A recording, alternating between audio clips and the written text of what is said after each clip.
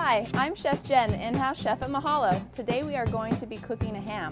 Most hams at the grocery store come pre-cooked or partially cooked, and this ham that we have here is a fully cooked ham that we need to heat in the oven. You can get a uncooked ham, but you need to arrange that with your butcher, and it's kind of difficult to do. Today, we are starting with our fully cooked ham.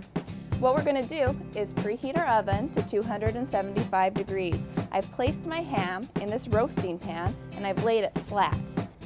I'm going to take some foil and tent our ham and to do that foil, make it pretty tight. We don't want any of the moisture to leak out because that will keep our ham nice and juicy.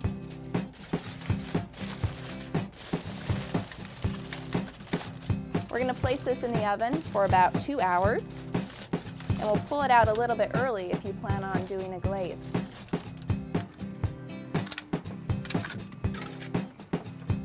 Our ham has been cooking in the oven for two hours. I'm going to pull out that ham.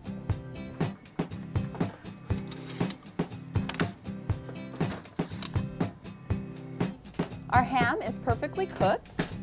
I did glaze the ham at an hour and 45 minutes, I put a glaze on the ham in order to make it more caramelized and more flavorful. If you'd like to learn how to glaze a ham, please check out How to Glaze a Ham video.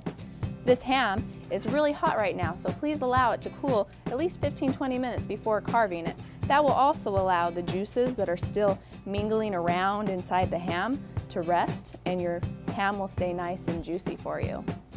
And if you follow all the steps that we have done in this how to cook a ham video, your ham will come out perfect and it will really impress your guest. Thank you. Please send any requests that you may have to requests at mahalo.com and please watch any of our other cooking videos.